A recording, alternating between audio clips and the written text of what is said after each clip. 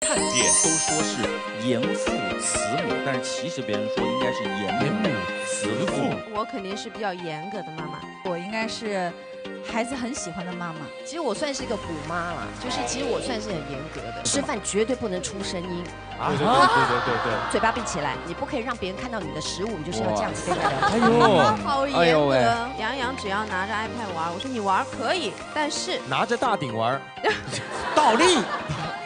妈妈说要收的时候，你必须要给我，如果你不给我的话，下次就没有玩。他会做的不好的时候，我们会指出，真的不要再玩 iPad 了。不是妈妈不让你玩游戏，是对你的眼睛不好。请加罚，打手板真？打呀！真打呀你！舍得？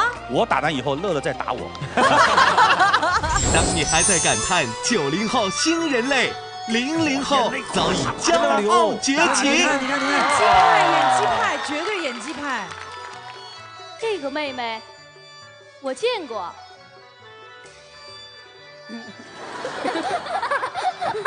这个妹妹我没见过。哎，好。哎好了，哎，这孩子哇，太吓人了，太吓人了。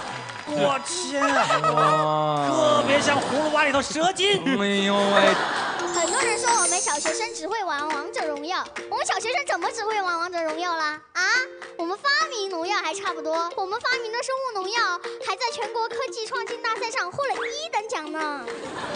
听说，你那个时候还跟国家副主席李元朝爷爷进行了交流啊？他就是说叫我长大了以后去当老师，我就说我长大了以后要去当国家副主席，然后我就把他给逗笑了。哇，国家副主席啊，行。我希望来，通过我自己的努力，我能够真正的成为一名优秀的国际文化交流使者，我能够把中国的优秀文化带到世界更远的地方。你如果当外交官的话，你最想去哪个国家？像王毅部长先生，他就不一定非要常驻某个国家。哦，你想当外交官？那是外交部部长啊！哎呦，有野心，有野心哇的。梦想是人生的指路明灯，有了梦想才有方向，没有梦想虽生有死。联合国可持续发展峰会应该是联合国规模最大的一个峰会，在这个峰会上，习大大是我们国家的第一代表，然后我就是我们的倒数第一代表，因为我最小。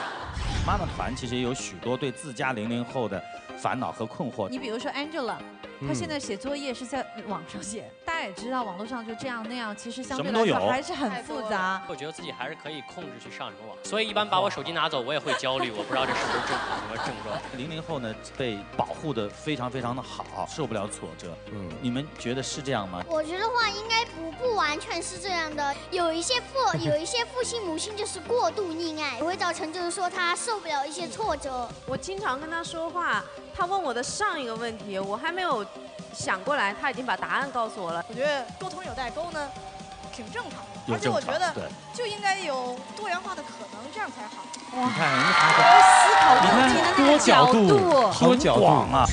下周晚十点，比老师天花天向上啊，这是花厉害了，零零后。哇哇，这个好难，这个好难。哇！教练，那个有没有和尚腿的动作呀？